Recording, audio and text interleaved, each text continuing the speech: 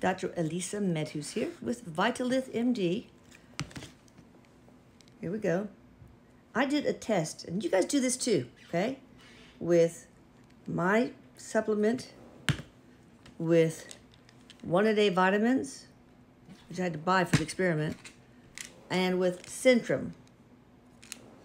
And I put them each in a little container that had acetic acid, which is very close to stomach acid, the same, almost the same pH, two to three. And I put the timer on. This dissolved in 12 minutes.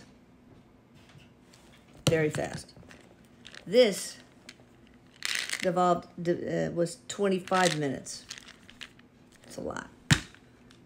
This one was the worst at 34.2 minutes.